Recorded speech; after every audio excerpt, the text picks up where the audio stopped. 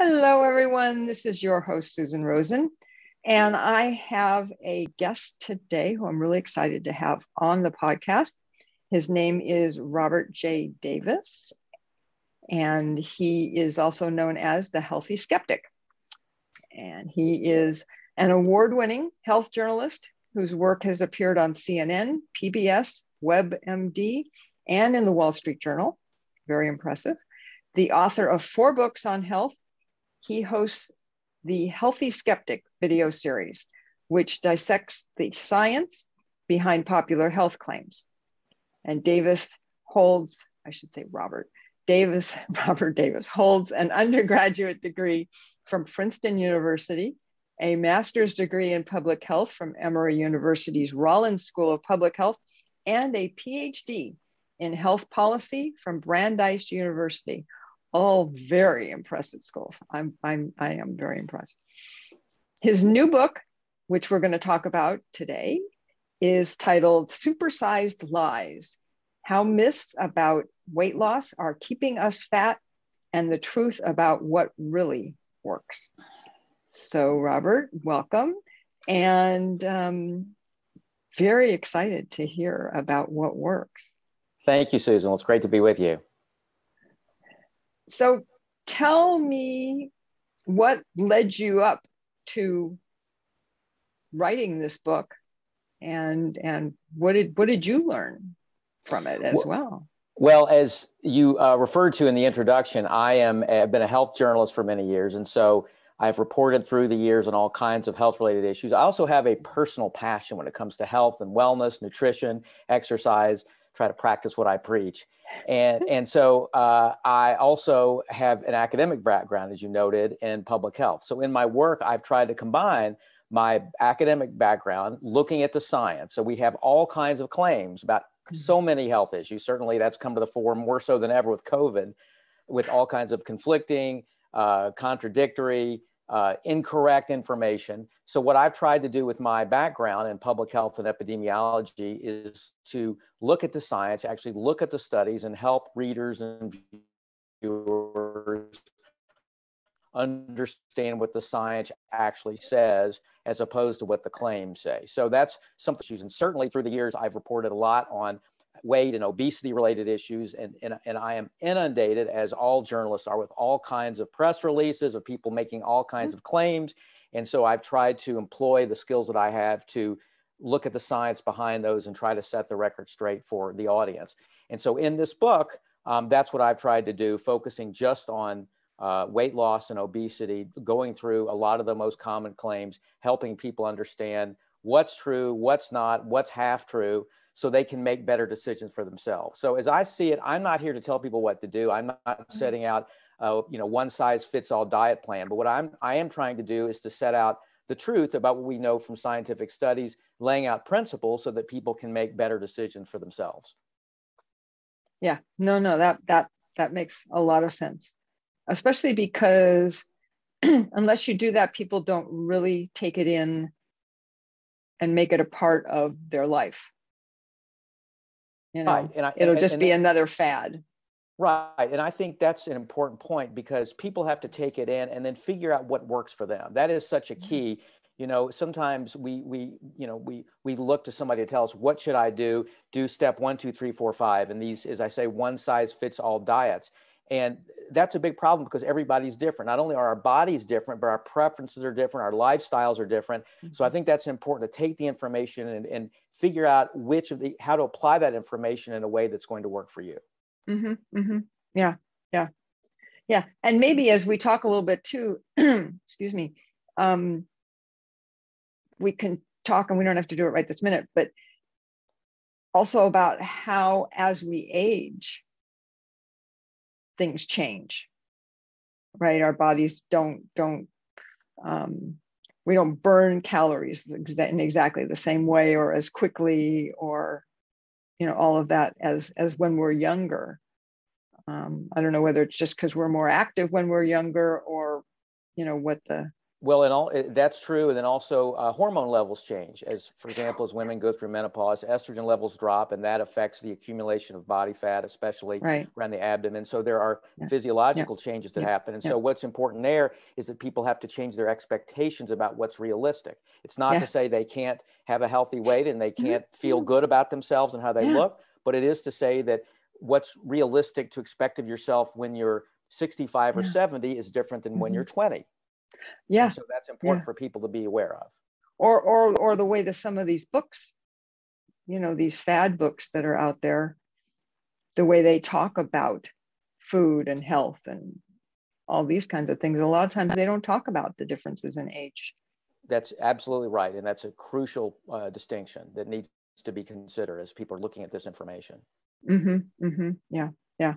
Well, and I and I do have to point out because I just did a podcast actually on it is it's not up yet, but um, that men go through their own version of menopause called andropause.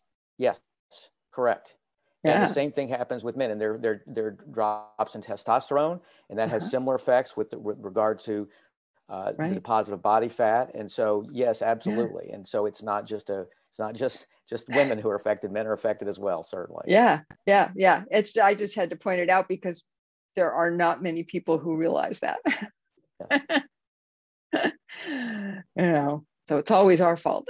men are men are men are just as affected.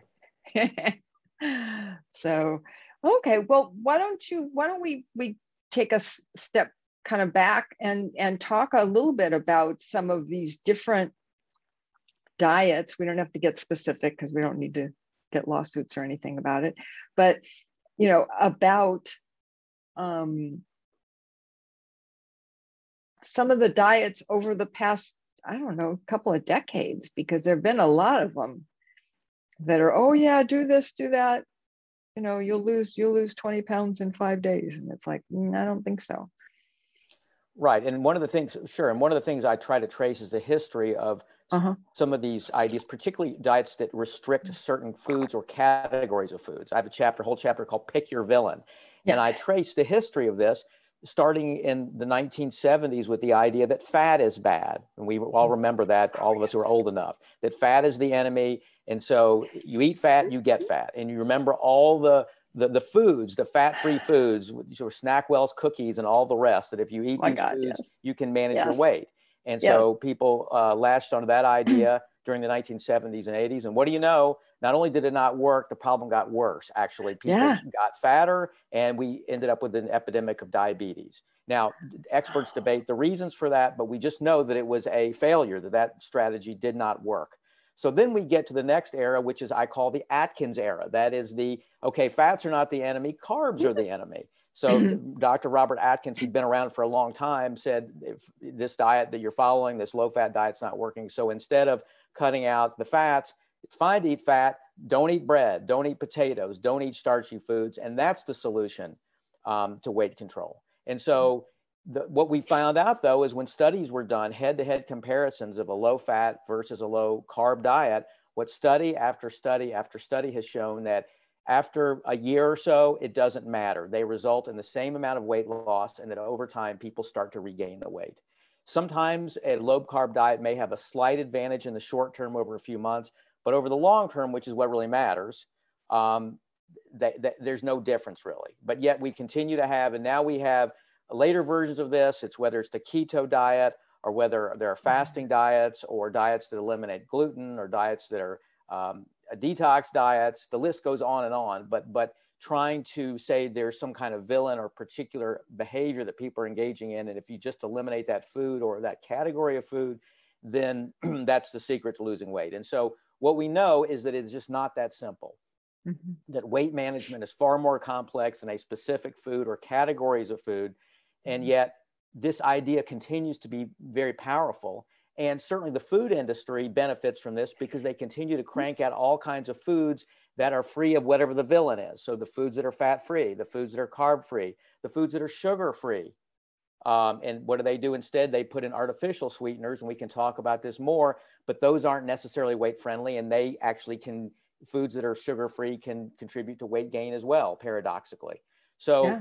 the point is that uh, that this idea of these diets that focus on specific villains have been shown again and again not necessarily to be any better than any other way of eating when it comes to weight. In some cases, are actually harmful because they can actually remove foods in our diets that we need. A keto diet, for example, um, you know, there it doesn't have whole grains, which are important uh, mm, for fiber. Doesn't have yeah. other nutrients. Certain uh, fruits or many fruits are not uh, allowed. Certain vegetables aren't allowed. So that when you start restricting whole categories of foods, you can have nutrient deficiencies. And so um, mm. the point here, I guess, the bottom line is any diet's going to work short term to help you lose mm. weight. Pretty much any diet will because it'll reduce calories and reduce the amount you mm. eat. The question is, is it sustainable? Is it healthy? Is it something that's going to be beneficial both in terms of your weight and your health over the long term? And I like to think the problem with diets is by definition, they're short term for most people because in most cases, they're not sustainable. So mm-hmm. I, I, I, think the important thing is to sort of focus away from the, all these diets and to look at overall eating patterns. That's the solution. How you eat overall, the overall quality and composition of your diet, mm-hmm. and, and, and focus on that as a long term strategy that's sustainable. Mm-hmm. Yeah, Oh, no, I, I, I totally agree. And that, that makes so much sense. Um, I think the other thing too is people, some people have, have issues. I mean, they have actual physical problems, right? And then they try and go on one of these other diets, and all it does is exacerbate that. No question right those problems are they can be any number of problems yeah. including um, people that are prone to eating disorders and so some of these one of the other oh. things that's very troubling about certain diets is that they exacerbate an unhealthy relationship with food so people who are prone to eating disorders going on these diets can actually make those problems worse and so that's one of the terrible consequences i talk about in the uh-huh. book that can yeah. occur from dieting and from being sort of uh, uh, uh, believing some of these ideas about well these foods are villainous these foods are poisonous mm-hmm. these foods are toxic never eat them and contributing to um, yeah. Th- those kinds of, of unhealthy relationships with food yeah oh no absolutely.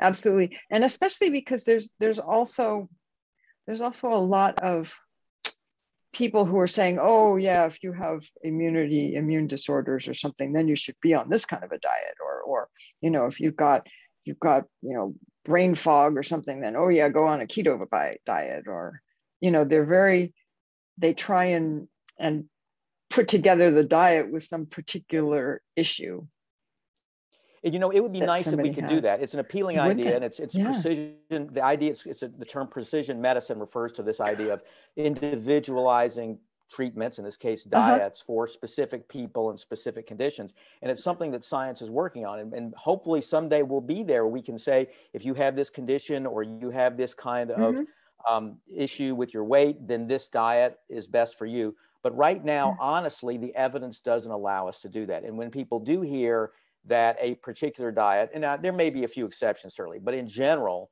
um, mm-hmm. a, a, a particular diet is good for a particular condition. In most cases, um, the evidence is not there, and that particularly by when made by people who are pushing diet books or certain kinds of diets, um, they are jumping ahead of the evidence, or they're basing it on evidence in animals or in test tubes, and not on really yeah. robust clinical data. Yeah, yeah, yeah, or just a, a few people, right? right? Now, who again, seem, there are exceptions. Who feel better right? Right. And there are exceptions. We know that certain diets will help keep your cholesterol lower. We know that certain diets are better for diabetes. So, again, I'm not saying it's across the right. board, but yeah. in general, um, as you point out, there are lots of claims with regard to diet and mm-hmm. conditions that are not yeah. substantiated by the evidence. Yeah. Yeah. Oh, exactly. Exactly. Um, yeah. And it's, do you think it's something? Well, I guess I was going to say something about human nature that likes to just have a, a all in one answer. No question. I think to, that's a, an excellent point. I think we're looking for simple answers, and it's understandable. It's human nature, and it's it's it's human nature also to be able to point to a villain and say, okay, this problem, the problem is X, and if I can do away with X, then that will solve my problem. Yeah. Um, as I point out, the flip side of that, and I have a chapter on uh, heroes, dietary uh-huh. heroes. So if you eat certain foods, that will also help weight loss. So whether it's apple cider vinegar or avocados okay. or chili peppers. So it's a flip side of the same phenomenon, which is oh. to say we look oh. for simple answers in heroes as well as villains. But again, unfortunately, I wish it were the case that we could pinpoint specific heroes or villains and that be the key. But unfortunately, that's not the case. Uh, that weight loss, as mm-hmm. I said, is a very complex uh, issue. It's a weight regulation is very complex, involves a number of factors, both biological, environmental, and to boil it down to either a villain or mm-hmm. a hero and say this is the answer um, doesn't cut it. Even though the the impulse to believe that is certainly understandable. Oh, absolutely, absolutely, and like we were saying a little bit, we touched on just a, a tad bit. Is what works for me is not necessarily going to work well for you. Exactly, and right? that's so and that's so important to, for people yeah. to understand. Yeah, yeah, because I mean, I, I love eating avocados, but not everybody else necessarily either likes them or should be eating them. You know, I mean, they they do have a lot of fat in them. Well, you know, depends on what the rest of your diet looks like too, right? I mean, it's just right. um and, yeah. and, Susan, I, I think that's a very important point with regard to looking at other people because this also, I think, contributes to what, what I consider to be perhaps the biggest problem of sort of diets and diet culture mm-hmm. is that people, when the diets don't work for them, how they uh, engage in self blame and th- feeling that they're failures and uh, internalized stigma and all the rest. And so when you look at someone else and say, well, it worked for my friend, they lost 50, 30, 40, 50 pounds, and I'm not losing weight. Therefore, I'm a failure. I didn't do it right. I'm not diligent enough, whatever uh, mm-hmm. and I feel shame and self blame. Well, it may have nothing to do with how hard you tried. It probably doesn't.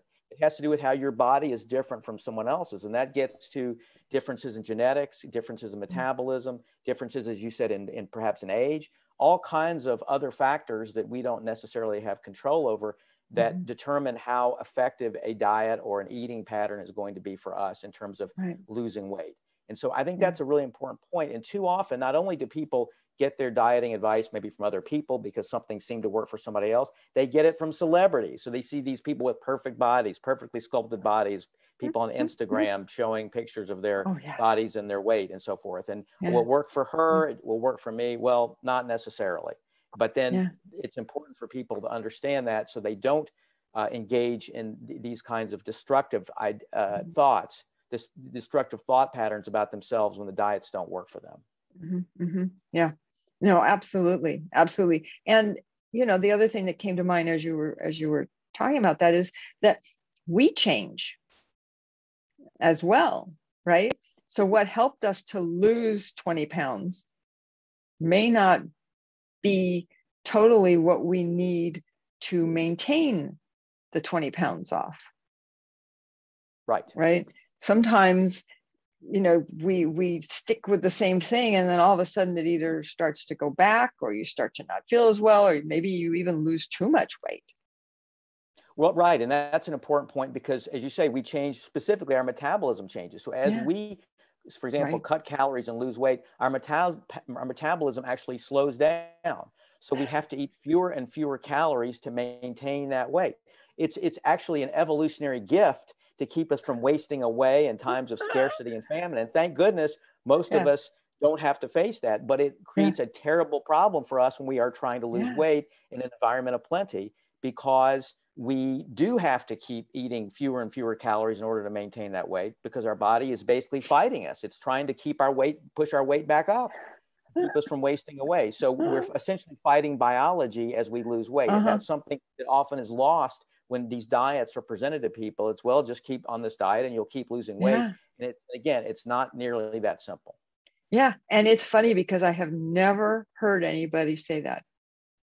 You know, not in any of the books, not not when you see people on TV being interviewed or any of that kind of stuff.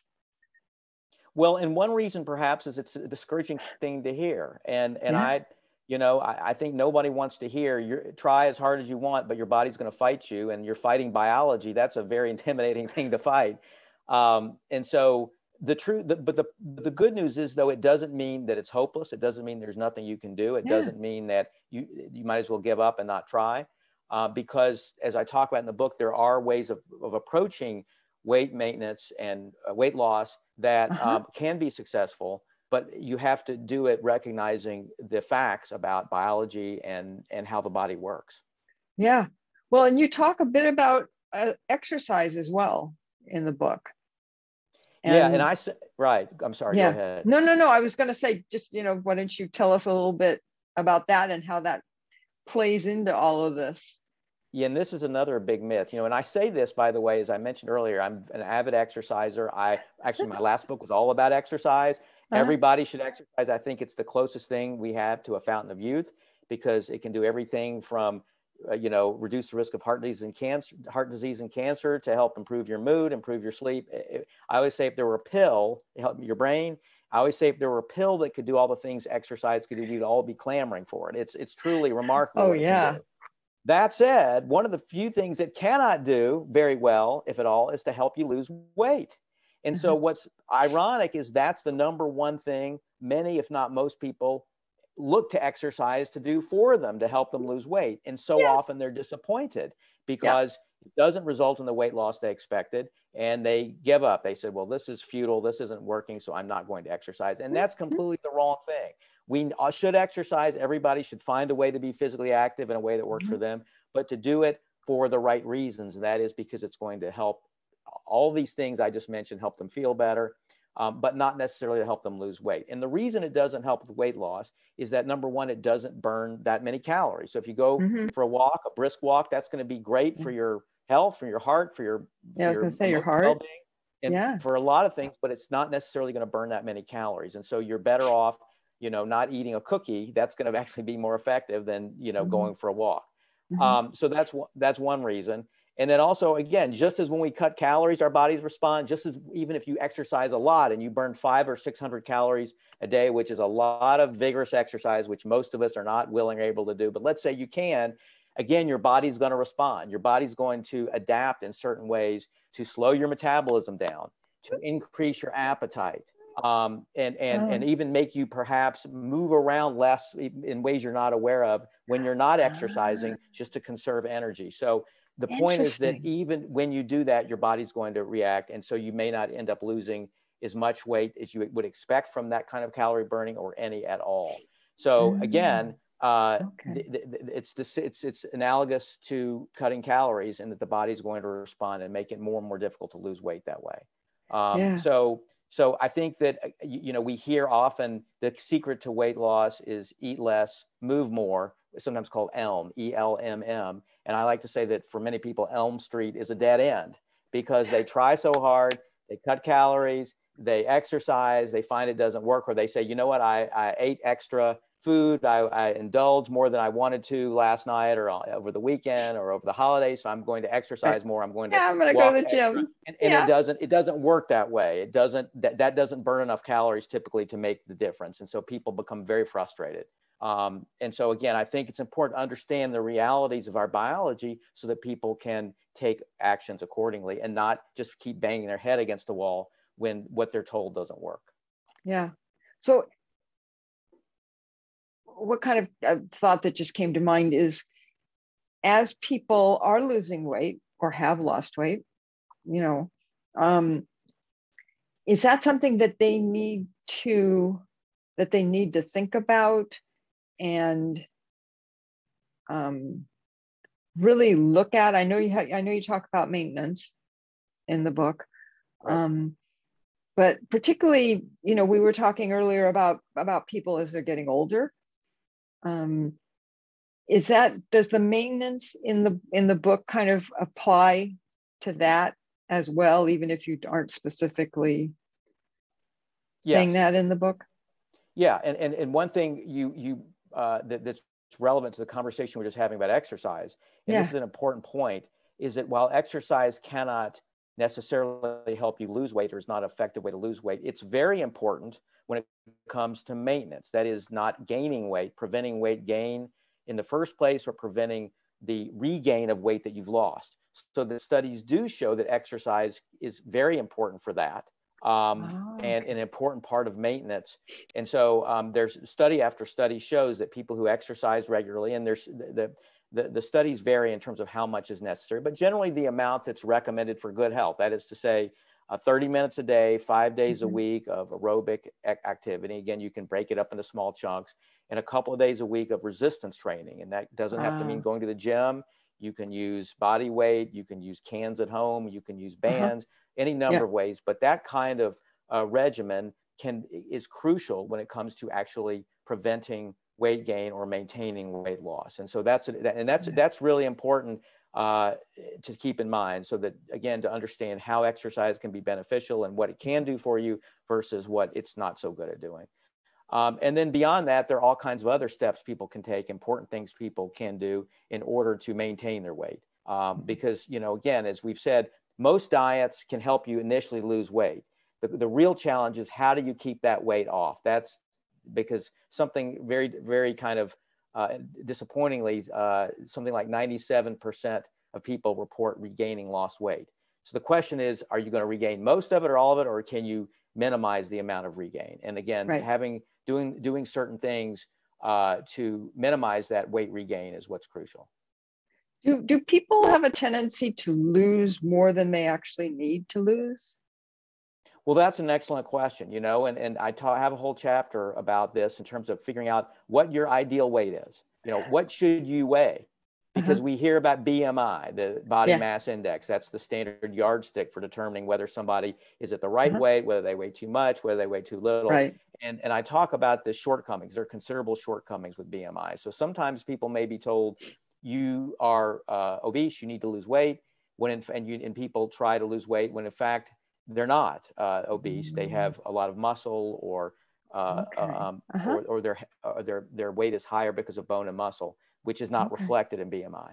Um, on the other hand, people may be told your weight is fine, and according to BMI, and in fact, they may have excess body fat. So the, the, the problem is that it's hard to know um, what your quote ideal weight should be. Um, one way of determining it is using waist circumference. Some doctors use okay. that as an alternative to BMI mm-hmm. so that um, that can be a better indicator of your metabolic health. But the way that I li- like to look at it is I think a good way to think about what a good weight is for you is what is at what weight are you healthy, meaning you're mm-hmm. metabolically healthy, your blood pressure, your cholesterol, your blood okay. sugar, and so forth. Mm-hmm. And at what weight is sustainable for you? What at what weight do you can yeah. you be on a healthy diet and sustain that weight without going up and down, without yo-yoing, and mm-hmm. and continue that weight for or more or less for yeah. the long term. And I think that's you know not a weight you necessarily got off a BMI chart, not a weight that you weighed 20 or 30 years ago, not yeah. necessarily your lowest weight ever, not a weight of somebody you saw on Instagram or that your friend said they got to, not a weight mm-hmm. you sort of pulled out of the air, but a weight that's healthy and sustainable for you. Right. I mean, I think that's an important thing to consider as you're looking at, you know, what should I weigh? And sometimes yeah. you're right. People will shoot for weights that are too low or not sustainable for them, uh, and their bodies fight back. And so mm. it's and it's uh, involves a lot of trial and error. Everybody's different, obviously, but finding that sweet spot, that air, that weight that's healthy for you that you can sustain over the long term is really uh, what's important. Okay. Okay. And then, um, when we were talking about, you know, people as they start aging, right? right. things change. Um, are there particular things in in a in their diets that they should be looking at maybe changing up maybe not eating as much carbohydrates maybe eating more protein or maybe not maybe it's the other way around but you know i mean i, I realize all of this is very individual right right i mean bottom line but are are there some kinds of things that just seem to pop out um, when you look at as people, you know, 50s, 60s, 70s. I mean, people are, are living a whole lot longer these days. It's so normal almost to see 80 year olds running around, you know. My, my mother is one of them. Yes. Well, there you go. I mean, yeah. my, my mother was in her mid 90s when she passed. And that was, you know, I don't know, 10, no, not 2014, about eight years ago, I guess. Yeah. Mm-hmm. Well, the, the, the short answer to that is that, again, science isn't at a place where we can pinpoint and say people in their Yeah. 60s, 70s, 80s should eat more. But we we know some general things. We know, for example, eating getting more protein is important. Um, just because we lose muscle mass as we get older, so getting more protein is important. and and, and trying not to only do is pro- exercises. the- absolutely the doing weight resistance bearing? exercises absolutely weight bearing that that is crucial as because we lose muscle mass and so maintaining that muscle mass is important for two reasons number one is it keeps people from getting feeble they're, they're able to sort of continue continue doing everyday activities more easily by having more muscle mass Yep. and also muscle uh, burns more calories than fat does so the more muscle we have the more calories we can burn and that's one of the reasons as people get older they tend to put on weight sometimes because they have less muscle mass and that burns less ca- fewer calories than fat does. So the more you can maintain muscle mass, the better. And the two ways you do that are through number one, through resistance training, as you say, and number Uh-huh. two, through eating more protein. Um, and the other advantage of protein is it can help fill you up. So many people find that eating more protein leaves them less hungry, so they're more they're less Uh-huh. likely to overeat. Yeah. And so that's Yeah. another advantage Yeah. of getting. And so I, I think one thing that many people recommend is just getting some protein at every meal instead of getting all your protein Okay. at dinner. Make sure you Ah. get protein throughout the day, so and that maybe different kinds, different kinds of different protein kinds as of well. protein. So so uh, not just if you're if you're you know you eat if you're omnivore, you can eat animal protein as well as vegetables and beans and, and there are a number of different sources that aren't necessarily uh, if you eat dairy, you can get eat dairy as well. Okay, protein uh-huh. from dairy. Yeah. So yeah, you can get yeah. protein from a number of different sources. And is that if protein's good for your brain too? I think, isn't it? I think there's some certainly getting enough is important. You Yeah. know, a deficiency can be can be harmful. Um, Yeah. and, but I think also uh, we we should be. I think it's important to point out we shouldn't be afraid of carbs either. Again, some of these diets that we talked about have made people afraid Mhm. of carbs and not eating carbs. But you know, there there are quote good carbs and bad carbs, and they're Right. the kind of carbs that aren't good are the refined grains and and highly processed foods that we see from Yep. things like chips and crackers and soda and sweets and so forth. And um, I think bread. we want to keep those white bread exactly. We want to keep those to a minimum, but we want to Mhm. emphasize complex carbohydrates, whole grains, uh, beans, uh, brown rice, um, you know, complex carbohydrates that really are the fuel for our bodies. Glucose is what fuels our bodies and, and Okay. gives us energy. And so we want to make sure we have enough energy. So I think it's important to not be afraid of carbs, but understand that it's important to get the right carbs. And that I think that's key, um, certainly as we get older, to make sure that we're we focus on that. Um, Yeah. Something else that's important is getting enough water. You know, one of the, I think in general it's a Ah. myth that when you hear people that you need eight glasses, everyone needs eight glasses of water Yeah. a day.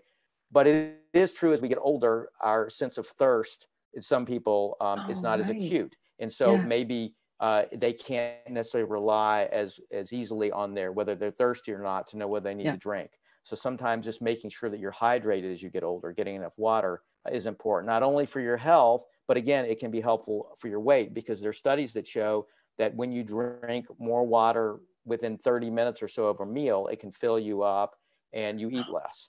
So um, e- eating, drinking right before a meal gets a trick that can work uh, to, for some people, helping them to reduce Okay. their uh, calorie intake. Okay, that's good. That's good. Yeah, that and and I can identify with that. I um I have noticed that I I drink less water. You know, I'm not as thirsty. I mean, I've got my cup of coffee here, but um And you know, that counts, and- by the way. People sometimes don't count coffee, but I it does count as your know. fluid intake. I know, I know, isn't that exciting? Um, but I do, I do have to remember, I literally have to remember, you know, I mean, I drink it to take my vitamins and all that kind of stuff, but I really have to remember to keep some water on my desk and keep drinking it. You know, Yeah, I mean, I, do the same thing because yeah, I'm the same way. As, I won't feel thirsty, and then I realize I've gone for hours without drinking. And Yes. again, that becomes more and more of an issue as people get older. Uh, yes, yes. so yes. that's why keeping water nearby at all times Yeah. is a good idea. yeah yeah well and, and it affects it affects our bodies as well right because the water helps to get the toxins out and and and all of that and um you know that's how we all end up with with bladder infections and And it has, like and that. interestingly, it has some cosmetic effect potentially too, because when people are hydrated, it can make their skin look more wrinkled. So, um, so it, it, drinking extra water won't, won't extra extra water won't make your wrinkles go away, but having too little water can uh, can bring out more wrinkles. Okay, no, no, that makes sense. Is that why my lips are always chapped? they always feel dry. I think it's the coffee. But anyways, I digress. Um, yeah, that that's that's really that's really interesting. And and you know, and there are so many other things as well. It doesn't necessarily, like you say, coffee, juice, although you have to be careful of the sugar, right? right. But there's right. certain kinds. Um, and um, of course, if coffee is, and tea is. Um, but there's so many different ways eating fruit. Yes, you get water from foods. You get water from yeah. fruit. You get water from vegetables. So yes, absolutely, that's a source yeah. as well. Yeah, yeah. So I mean, people, because I I know some people are. I know my mother used to always, oh, I don't like drinking water. It's like, well, there's a hell of a lot of other things out there you can eat or drink. You know? Right, and you can add if you add flavors, or you can add fruit to the water. A lot of people do that. Just add a little orange yeah. or lemon or, or other fruits into your water and give uh-huh. it give it kind of a a sweet, a little bit of a sweetness, and then people yep. that makes it more palatable. Yeah, yeah, exactly, exactly, yeah. So, any other any other pointers for people as they get older to to be on the lookout for that they uh, that they should well, you, know, know, one thing one thing to... that I um, think is one of the things that I recommend and I talk about in the book is keeping a food diary.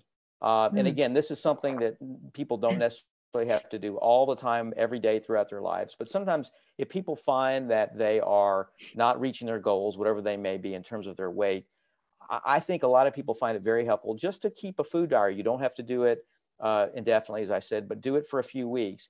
And w- what keeping a food diary entails is writing down every day after every time you eat, and you can put it in your phone and then transfer it over to a notebook or put it in your computer or mm-hmm. there are apps that let you do this. But just writing down not only what you ate, but how much you ate, where you were when you ate, who you were with when you ate, were you by yourself, were you with other people, oh. how you were ah. feeling when you ate, how you felt after you ate. So keeping track of not only what you eat, but your emotions and the environment and so forth. And then writing it down honestly. And it's important to do it as you're eating because, you know, I, I can't remember what I ate last week, you know, or this morning, much less last week. Right. So it's important yeah. to do it as you're going along. But then the whole point is that you get a record of of your eating patterns of what was happening and then you can look mm-hmm. at, at it and say okay I realize that when I'm alone, I eat more or I eat less. Or I realize that um, when I was feeling down, I ate more junk food. Or I realize that when I'm in a hurry, I tend to scarf down food in the car and I eat less healthy foods. And on those yeah. days, I don't get foods that are filling. Whatever it is, I think mm-hmm. it can be very helpful. And so sometimes as we get older, our, our lifestyles may change because mm-hmm. of retirement, because of other changes in life mm-hmm. um, emotional changes, things we're dealing with, whatever the case may be. And those can affect our eating patterns. And so I think it's important if we really, and, and sometimes we're not even aware of that. And so the point of keeping a food diary is to say, okay, I'm going to keep a record here so I know what I'm doing, which I may not otherwise be aware of. So then I can take actions to say, okay, I realize that when I'm feeling lonely or I'm feeling down, I start to eat more junk food.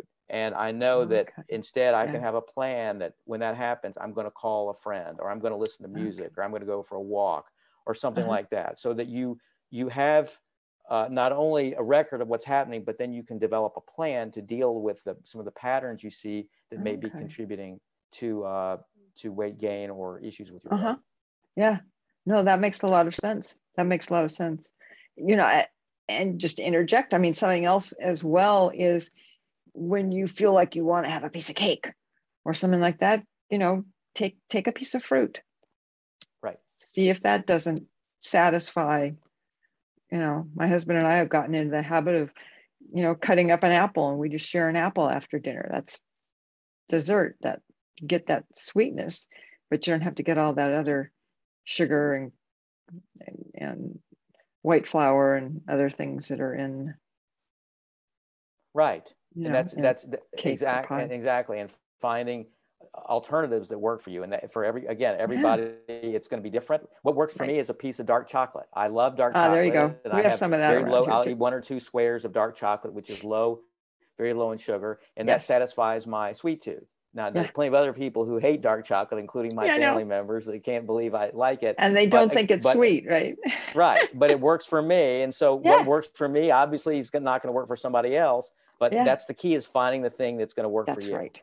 Absolutely. Absolutely. Absolutely. So talking about sugar and sweet, you know, give us the the two minute rundown on on sugar and the different kinds of sugar and you know what to kind of limit a little bit, shall we say?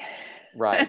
Well, you know, there's all kinds of discussion. And one of the things I talk about is, you know, sugar is one of the villains where people say sugar is the number one cause, or people who say, you know, prominent doctors who'll say mm, that mm. sugar is the number one villain. And again, the evidence doesn't support that sugar is the number one villain when it comes to weight. Now, that said, it doesn't mean that eating a lot of sugar is good because most of us in, in American culture eat too much sugar because sugar is not only in the foods that we think of as sugary, it's put in all kinds of other foods from spaghetti sauce to bread that we don't even yes. know we're getting it. So we eat a lot of sugar. So I think it's good to be aware of sugar. So when you think about looking at foods, look at the late nutrition label and look at how much sugar it has and, and, and take that in consideration when you're thinking about how much sugar to eat. Now, as for what form is worse, you know, we hear a lot about high fructose corn syrup is worse than regular sugar, honey's better. But the truth is that to the body, sugar is sugar. Generally, the body mm. processes sugars the same way. So, so just because it has honey, just because it has brown molasses, just because it has some healthy sounding form of sugar, okay. doesn't mean it's better for you. And this is a marketing trick. that A lot of foods will, you know, just a touch of ah, honey, yep. yeah. which is which it can be misleading on two levels. What is a touch? A touch can be a lot. There's no scientific According to whom, legal huh? term. Yeah, what a touch is. It could be 10 or 12 grams of sugar. And uh, then the honey is not necessarily more helpful than table sugar, sucrose. Yeah. So I think I think we it's important not to be tricked by these marketing terms, these health halos that are applied to foods to make us think it's a healthier mm-hmm. form of sugar. So so I right. think the point right. is that we should be aware of sugar as one component that contribute to weight gain. Sugar is not by itself poison or tox poisonous or toxic, but it is something that we want to try to uh, you know we ought to eat less than we're eating and to be yeah. aware of it, just yeah. as we need to be yeah. aware of other components of food. Yeah. Well, and and sugar, like like a lot of things, anything in large amounts typically is not real good for you. Correct. Right. I mean, just if for no other reason than the fact that it's pushing out all the other good things that you should be eating.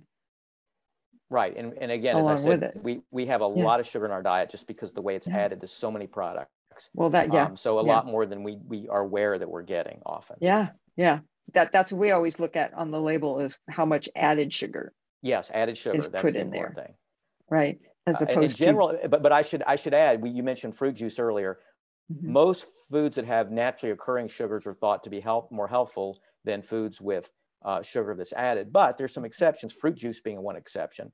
Um, mm-hmm. Fruit juice does have lots of vitamins and minerals, but it also has lots of sugar. Now it's naturally occurring sugar, but studies do show that this sugar can, and drinking a lot of fruit juice can contribute not only to weight gain, but also diabetes, as opposed to eating mm-hmm. whole fruit, which has the opposite effect.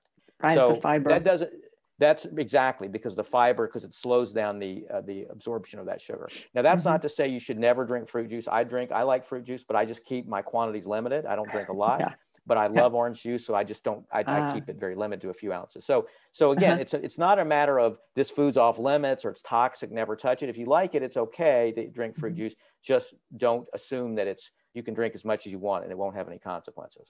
Yeah, yeah, yeah. Well, and again, look at how much added sugar is put in, and yeah. if I mean if it's just from fruit and nothing else, it yeah, should be just sweet enough. Fruit, you still right. It's it, you still need to watch it for fruit juice, but I think you're right. Uh-huh. Particularly if it's added sugar, these sort of fruit beverages that add sugar, th- those are certainly much even more of a problem. Yeah, yeah, yeah. So, well, I guess we could probably, between you and I, we could pro- probably go on for hours, but we should probably try and wrap it up a little bit here. so, okay, so here here's Robert's book. Everybody can see Supersized Lies. Um, it's it's very readable. I have been reading it, um, and and I like all the little things about you know calling out what's a myth and what's the what isn't. Um, and it's um it's been very educational and i've been i've been looking at all of this and reading about all of this for 30 years so it i still found still definitely found things that were new to me so i appreciate that. Well well thank you. That's that's nice to hear. Thank you. Yeah yeah. And and like i say it's very it's very readable. The way the way it's organized is is also very readable. You don't go oh my god what is he talking about? Right. Well, I, um, I, you'll see, readers that are interested will see I, I have over 300 citations, and, I, and I've combed through thousands of studies, but I've really tried to make it accessible. So to try to explain the science in a way that anybody without yeah. a scientific background can understand. While, but if you are interested in the science and reading more about the studies they're there, they're in the back. I refer to lots of studies, and you can go look them up if you'd like, if you're so mm-hmm. inclined. Mm-hmm. Yeah, I may. I may. Um, okay, and I will also I will put a link to uh, Amazon to the book in the show notes if anyone is is uh, interested in going out and grabbing their own copy. Um, and okay, so is there any just kind of wrap up thing that you'd like to say to kind of you know the the the very very very very very short version of um, of the I, book? I would just say that there are lots of things we hear that are not true, and mm-hmm. it can be very discouraging. But at the same time, my message is don't be discouraged. There are mm-hmm. things that you can do that can be effective. And so it's a matter of following those steps, and I outline them in the book, and uh-huh. not getting discouraged and, and not becoming cynical and throwing up your hands and saying, well, nothing works, everyone's lying to me, but knowing there are things you can do to not only maintain a, a, a, weight that's you're satisfied with, but also be healthy. And and again, in the end, it's being healthy that matters yeah. the most. Yeah, absolutely, absolutely. And to create create a a healthy diet, and I don't mean that in in cutting calories diet. I mean just a just what you eat. Um, that's that's going to work for you because exactly. we all have we all have things that we like to eat and things that we don't like to eat right i mean you you talk about beans and that's great my husband loves beans i couldn't get down a thing of beans regular beans if i somebody paid me well maybe if somebody paid me but not not voluntarily so i mean we all have likes and dislikes right that's, absolutely that's being human yep right so find find what works for you and go with it Yep. Absolutely. And I, and I hope that people can, if they look at my book, they can find, I try to lay out some guidelines to help them do that. No, absolutely. Well, thank you very much for writing it. Well, thank you, Susan. It. And thank you for having me. It's been fun talking to you. Yes. Thank you. And I will say that neither of us are doctors. This is not to be seen as medical advice, although I guess technically you're a PhD doctor, but it's not an MD.